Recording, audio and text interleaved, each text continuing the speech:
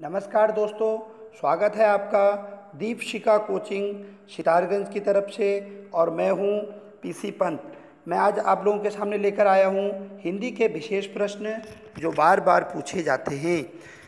यहाँ पर मैं आपको दोस्तों बताना चाहूँगा सबसे पहले कि यह जो आप देख रहे हैं, हिंदी का एक जो प्रश्न पत्र यहाँ पर सीरीज़ दिखा रहा है, यह दरअसल मैं आपको बताना चाहूँगा कि यह हमारे संस्थान में अभी कुछ ही दिन पहले एक पेपर लिया गया था वन विभाग परीक्षा के लिए, यानी फॉरेस्ट गार्ड मॉडल पेपर 2018 उसी का यह एक हिस्सा है, यानी जिसमें हिंदी के 20 प्रश्न थे, और आप जानते ही हैं, समूह गौ में भी उत्तराखंड में हिंदी के 20 प्रश्न पूछे जाते हैं लगभग सभी एग्ज़ाम में।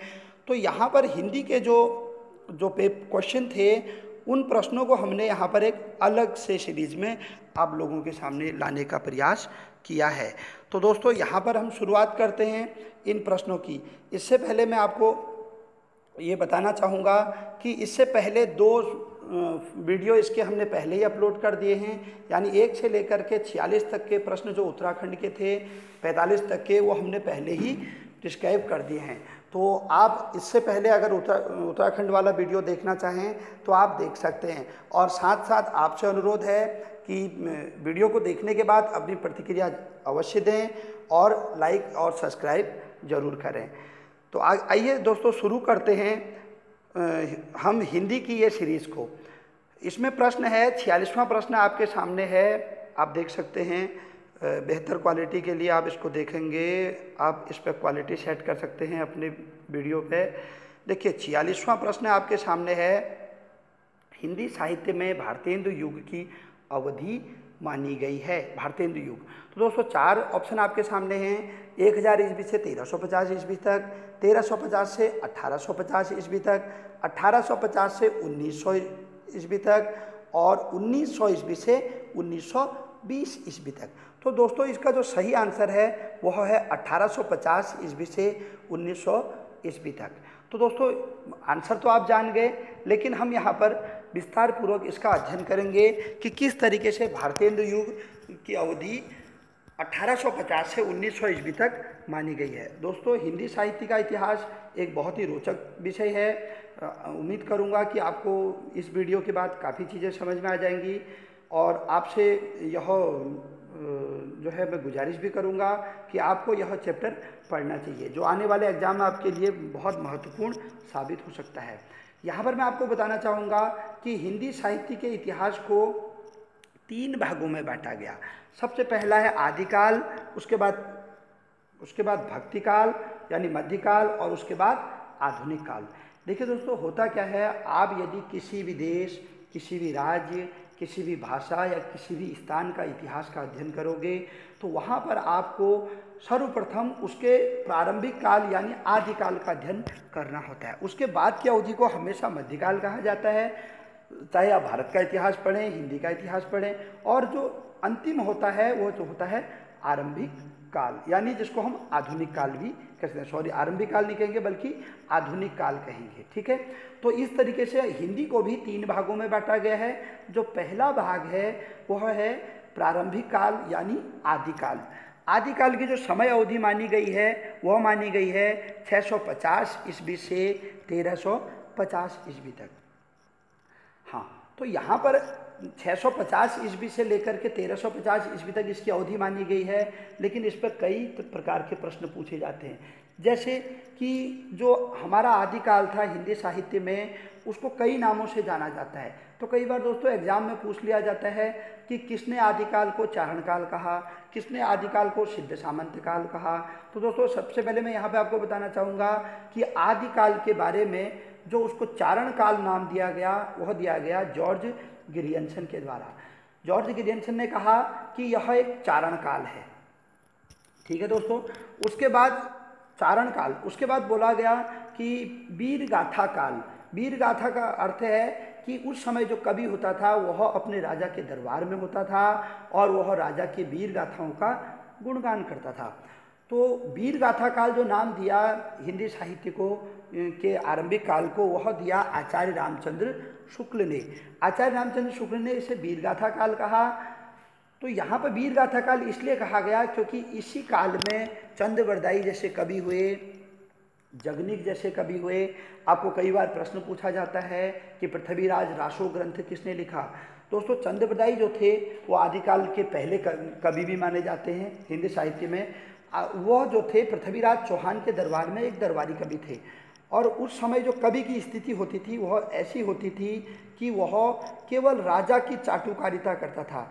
यानी उसकी सारी रचनाएँ राजा पर केंद्रित होंगी और वह अपने राज अपनी रचनाओं में राजा की प्रशंसा करता था। यानी एक तरीके से इसको इसीलिए वीरगाथा काल भी कहा गया क्योंकि वीर गाथाएँ गाई जाती थी और वीरस प्रधान कविताएँ होती थी।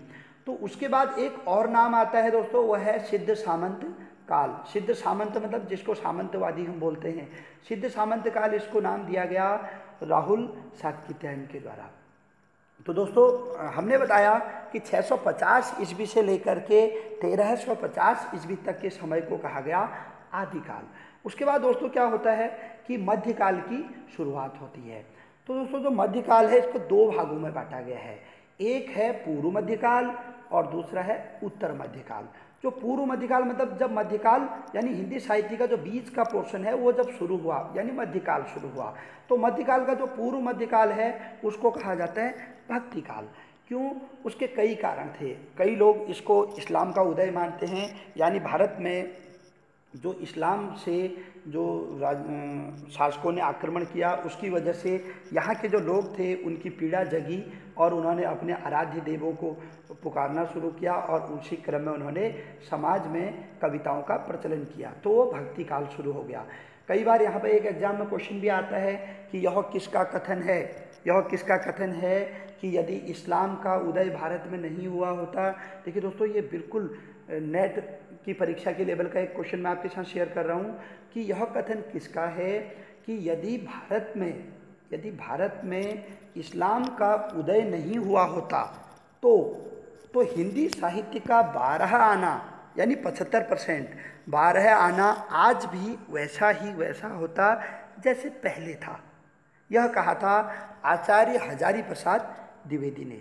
दोस्तों, हजारी प्रसाद द्विवेदी ने बहुत ही अच्छे निबंध भी लिखे हैं, उनका एक प्रसिद्ध निबंध है, कुटज। इसके अलावा शीरिश के फूल जो रचना है, कई बार पूछा गया है, वह भी उन्हीं की रचना है। तो उन्होंने कमिटमेंट किया था इस बारे में कि किस तरीके से भारत में भक्ति काल का उदय हुआ। तो दोस्तों, इस्लाम के आने से भक्ति काल का उदय हुआ, यह माना गया है तेरह सौ पचास ईस्वी से लेकर के सोलह सौ पचास ईस्वी तक। यानी तेरह सौ पचास से लेकर के सोलह सौ पचास, हमारा मध्यकाल तो होगा, लेकिन पूर्व मध्यकाल होगा। यानी मध्यकाल का आरंभ। इसको कहते हैं भक्तिकाल। दोस्तों, इसमें कई कई वर्ग हुए, जैसे भक्तिकाल में सगुण काव्य धारा निर्गुण काव्य धारा सगुण काव्य धारा के मुख्य कवि कबीरदास थे, और निर्गुण, सॉरी, निर्गुण काव्य, सगुण नहीं, निर्गुण काव्य धारा के जो कवि थे वह थे कबीरदास और सगुण काव्य धारा के थे सूरदास, तुलसीदास अन्य। तो दोस्तों, निर्गुण का मतलब है कि जिन्होंने भगवान को एक साक्षात रूप में नहीं माना मतलब उन्होंने राम, लक्ष्मण, इन शिव, इन लोगों को अपना भगवान नहीं माना। तो वो लोग थे निर्गुण काव्यधारा जैसे कबीर। इसमें भी दोस्तों दो शाखाएँ हुई, एक हुआ ज्ञानेशयी शाखा और दूसरा हुआ प्रेमाशयी शाखा। तो दोस्तों, बिल्कुल आपको जानकारी यहाँ पर दी जा रही है कि ज्ञानाशयी शाखा में आते हैं कबीर। यानी उन्होंने ज्ञान अपनी रचनाओं में निर्गुण काव्य को तो दिखाया ही साथ साथ उन्होंने जो मार्ग पकड़ा वह ज्ञान का मार्ग पकड़ा। और दूसरी ओर जो थे, जो प्रेमाशयी शाखा के थे, उनमें जो मुख्य कवि हैं वह हैं जायसी, यानी मलिक मोहम्मद जायसी। उन्होंने जो ग्रंथ लिखा, वह था पद्मावत। पद्मावत जो लिखा गया वो रानी पद्मावती पर लिखा हुआ एक ग्रंथ था, यानी प्रेमाशयी शाखा का था। तो दोस्तों, यहाँ पर उसके बाद जब सगुण काव्य धारा आया सगुण काव्य धारा में राम और श्री कृष्ण ये भी दो भागों में बैठ गया। कुछ राम की स्तुति करने लगे, कुछ श्री कृष्ण की स्तुति करने लगे। तो दोस्तों, यहाँ पे जो राम की स्तुति में सभी जानते हैं, तुलसीदास और श्री कृष्ण की स्तुति में सबसे बड़े कौन थे? सूरदास। दोस्तों, सूरदास पर ही एक बहुत ही इंपॉर्टेंट टॉपिक आता है, अष्टछाप।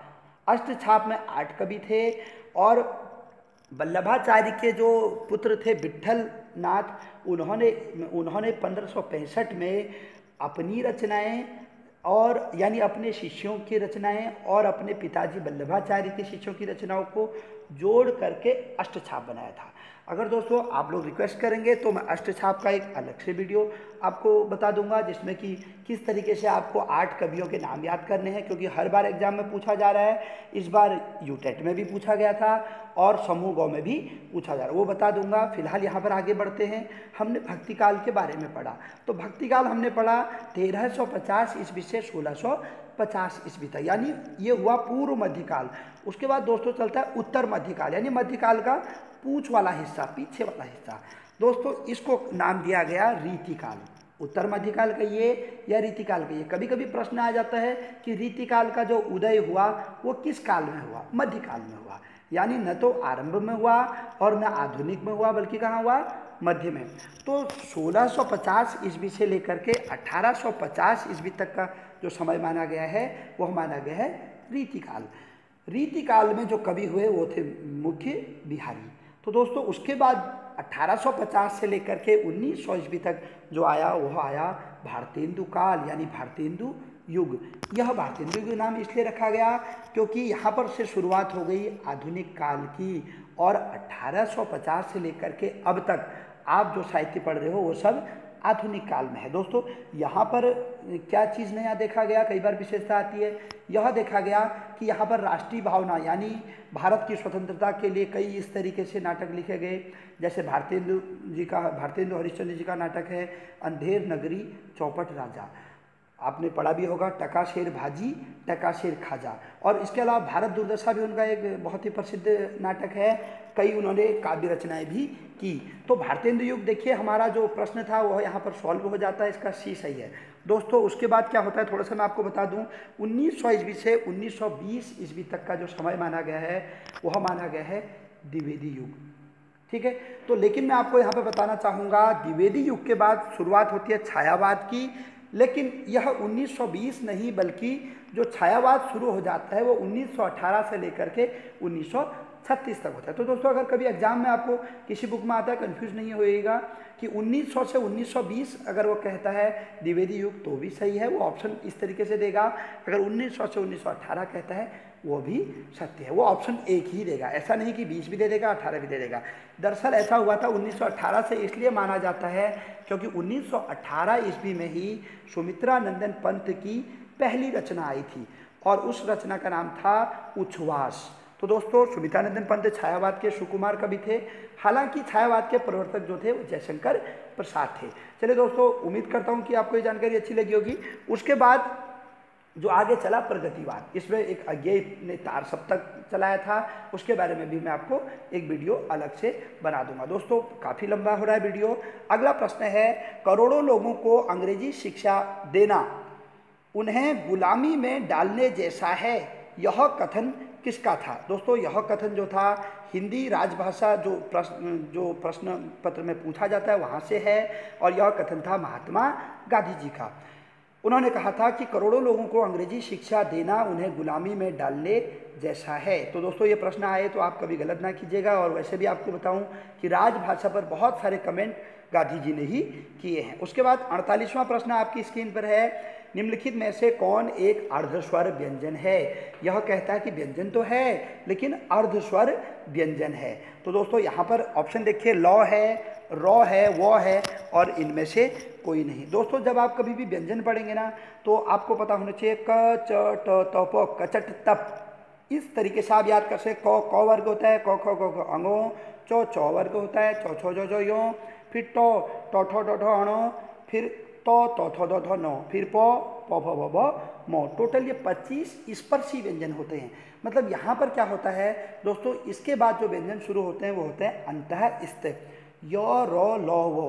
तो अंतः में कई बार एग्ज़ाम में पूछा जाता है, कई बहुत कम लोग इसको तैयारी करते हैं। चलिए दोस्तों, मैं आपसे पूछता भी हूँ। कमेंट कीजिएगा कि अंतः व्यंजन की सटीक परिभाषा क्या है? यानी अंतःस्थ व्यंजन कहते किसे हैं? चलिए दोस्तों, यहाँ पे आपको ये कमेंट करके बताना है, लेकिन मैं आगे अपने प्रश्न में जाता हूँ। कि अंतःस्थ जो व्यंजन होते हैं, योर और लौव, उनमें से दो व्यंजन ऐसे हैं जो अर्ध स्वर व्यंजन होते हैं। मतलब वो व्यंजन तो हैं, लेकिन आधे स्वर होते हैं। वो है दोस्तों यो और वो। तो यो तो यहाँ पर ऑप्शन में है नहीं तो हमारा सही आंसर होगा वो। जब हम यो, वो बोलते हैं, यो, हमें औ का बोध हो रहा है, और वह बोलने में भी वो औ का बोध हो रहा है। तो इसलिए वह यहाँ पर क्या होगा? अर्धस्वर व्यंजन होगा। दोस्तों ऑप्शन में आपको लॉ भी दिखाई दे रहा है। लॉ जो लॉ जो है, एक पार्श्विक व्यंजन है। और रॉ जो आपको दिखाई दे रहा है, इसको बोलते हैं लुंठित व्यंजन। यो, रो, लो, वो, ये चार व्यंजन होते हैं, अंतस्थ व्यंजन। पढ़ लीजिएगा। अगर जिसको जानकारी ना हो तो वो डिटेल से पढ़ सकते हैं। ठीक है दोस्तों, और उनपचासवां प्रश्न देखिए। हिंदी वर्णमाला में हौ व्यंजन है। दोस्तों, बहुत अच्छा प्रश्न है, बहुत पूछा जाता है। अघोष व्यंजन यानी अघोष महाप्राण। अघोष भी पूछ रहा है, महाप्राण भी। सघोष महाप्राण और ए और बी दोनों और फिर अगला एक लास्ट ऑप्शन आपको दिखाई दे रहा है, सघोष अल्प प्राण तो दोस्तों, इसका जो सही आंसर होगा, वह होगा बी, सघोष महाप्राण। लेकिन कैसे होगा, मैं आपको बताना चाहूँगा। देखिए दोस्तों, एक होता है अघोष, एक होता है सघोष। पहले इसको समझे। जितने भी स्वर होते हैं, सब सघोष हैं, अघोष नहीं है। अब व्यंजन में अघोष का पता कैसे चलेगा? पहले परिभाषा आनी चाहिए। अघोष व्यंजन उसे कहते हैं कि जिसका उच्चारण करने में, स्वर तंत्रिकाओं में कंपन न हो। यानी हमारे मुँह के अंदर कोई वाइब्रेशन न हो स्वर तंत्रिकाओं में। उसे कहते हैं अघोष। और जिसमें वाइब्रेशन होगा, कंपन होगा, उसे कहेंगे सघोष। तो दोस्तों, मैं स्वर में तो मैंने आपको सीधे सीधे बता दिया, जितने भी स्वर हैं, वह क्या हैं? सघोष है। अब व्यंजन में क्या होता है?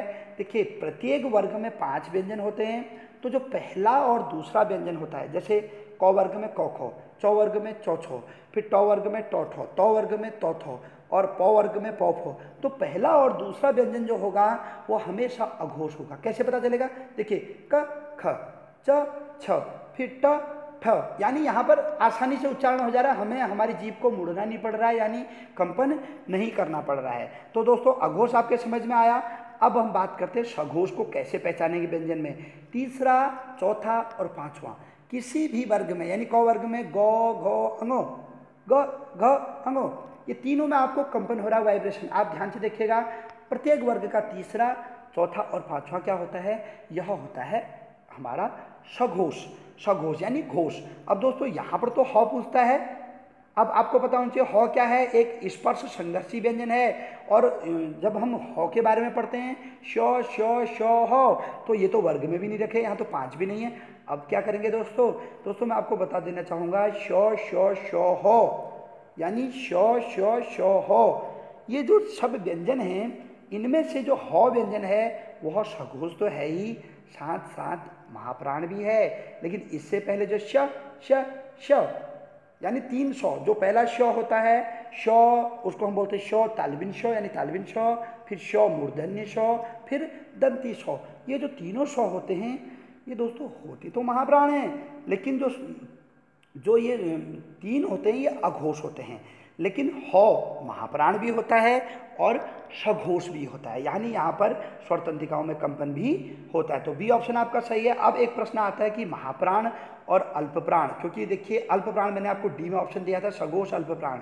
इनमें क्या अंतर होता है? देखिए दोस्तों, बहुत सरल है कि जिसके, जिस व्यंजन का उच्चारण करते वक्त मुँह से अधिक श्वास निकलती है, हवा निकलती है, उसे महाप्राण कहते हैं। जिससे मुँह से कम हवा निकलती है, उसे अल्प प्राण कहते हैं। दोस्तों, बहुत ही सरल है ये भी, ठीक है? तो आपको पता होना चाहिए, पहला, तीसरा, पांचवा, किसी भी वर्ग का, वो व्यंजन जो होता है, वो अल्प प्राण होता है, यानी क, ग, नो, ये क वर्ग का मैं आपको बता रहा हूँ। और दूसरा और चौथा व्यंजन जो होता है किसी वर्ग का, जैसे देखिए, खो उसके बाद घो यहाँ से ऐसा उच्चारण आप भी करके देख सकते हैं। इसके उच्चारण करने में मुँह से अधिक हवा निकल रही है, इसलिए महाप्राण होगा। और हौ जो व्यंजन होता है, सघोष भी है महाप्राण। बहुत ज़्यादा इंपॉर्टेंट है दोस्तों, बिल्कुल हट के क्वेश्चन है।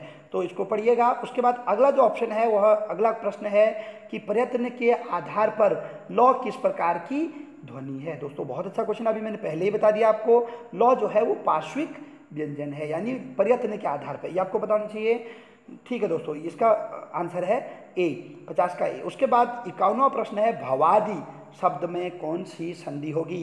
देखिए दोस्तों, भवादि कई तरीके हैं इसको पकड़ने के। देखिए दोस्तों, एक तो आपको वह दिखाई दे रहा है, इससे आप पहचान कर सकते हैं। देखिए दोस्तों, एग्ज़ाम में क्या होता है कि कोई ज़रूरी नहीं है कि जिस संधि को आप रट के गए हैं, जिस संधि को आपने कोचिंग में पढ़ा है, जिस वर्ड को पढ़ा है, वही आए। एग्ज़ाम में कुछ भी पूछा जा सकता है।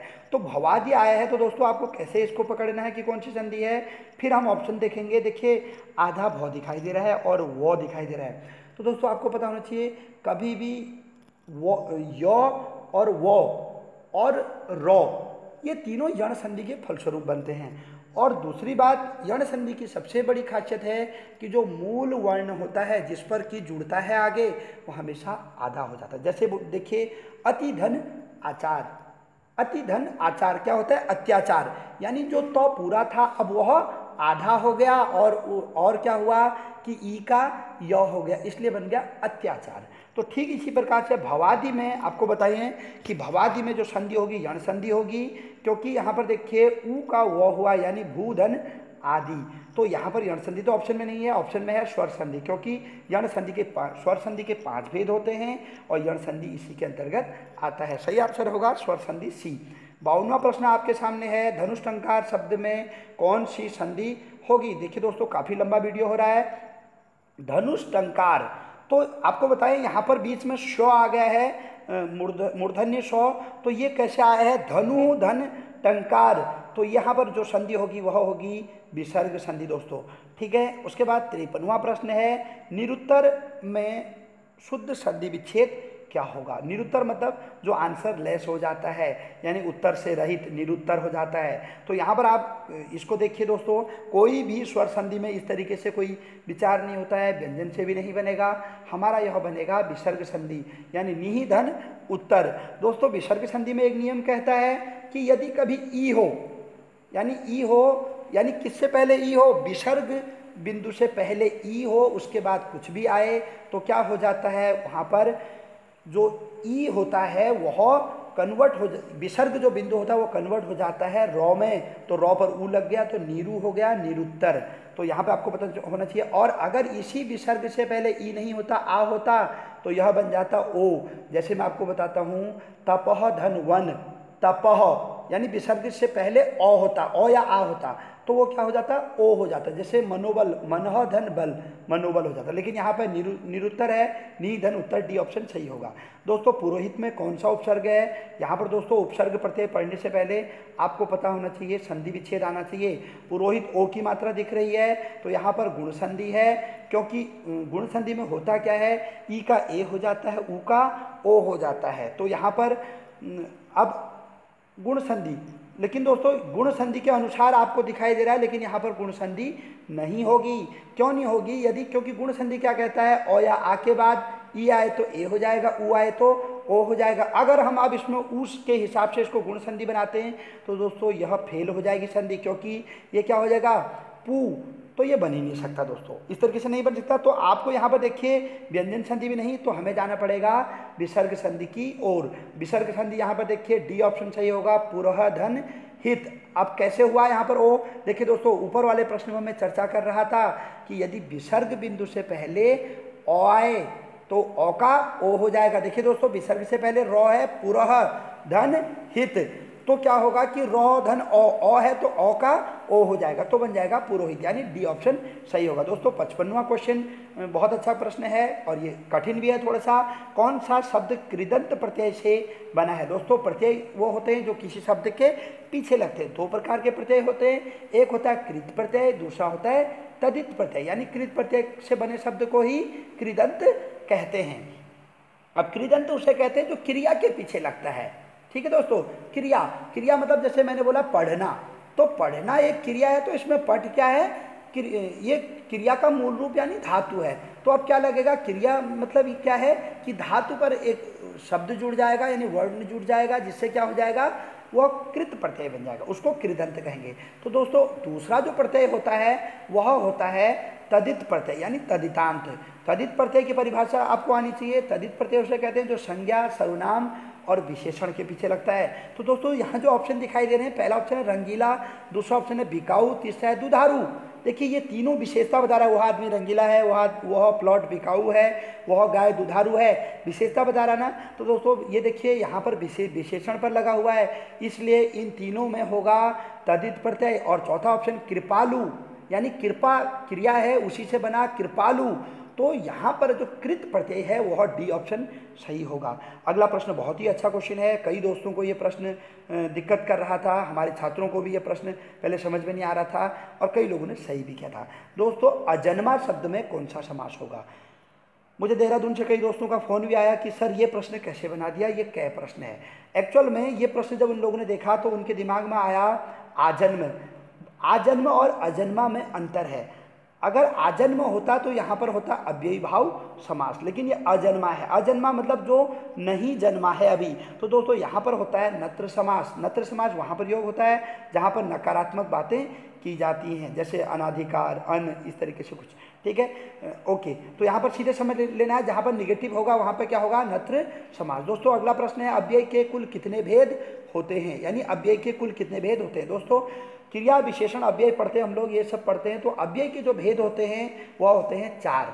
कौन कौन से होते हैं? प्रश्नवाचक अव्यय, फिर समु, समुच्चय बोधक अव्यय, उसके बाद होता है संबंध बोधक अव्यय, और उसके बाद होता है क्रिया विशेषण अव्यय। तो चार अव्यय होते हैं, आपको इसका अध्ययन करना चाहिए। इस बार वीडियो के प्रश्न में पूछा गया था समुच्चय बोधक अव्यय। दोस्तों अट्ठावनवा प्रश्न है, विभावरी किस प्रकार का शब्द है? तो दोस्तों, यहाँ पर जो विभावरी शब्द है, वो है तत्सम शब्द। तत्सम शब्दों को याद करने के लिए मैं आपको एक ट्रिक यहाँ पे बताऊँगा कि आपको याद कैसे करना है। जो भी शब्द, जो भी शब्द, पर्यायवाची शब्द होते हैं, वह होते हैं तत्सम शब्द। विभावरी तो बीती विभावरी विभावरी का मतलब होता है सायं, यानी संध्या, रात्रि बीत चुकी है। बीती विभावरी, जागरी, अंबर पनघट में डुबो रही, उषा घट तारा नागरी। तो दोस्तों, ये कामायनी से लिखे गए कुछ पंक्ति थे जयशंकर प्रसाद के। दोस्तों, वीडियो काफ़ी लंबा हो रहा है और मेरे फ़ोन में बैटरी भी कम है। जल्दी ही दूसरा वीडियो अपलोड करूँगा, लेकिन आप अपनी प्रतिक्रिया इसमें दें। धन्यवाद। और अप, हमारे इस चैनल को आप ज़रूर सब्सक्राइब करें।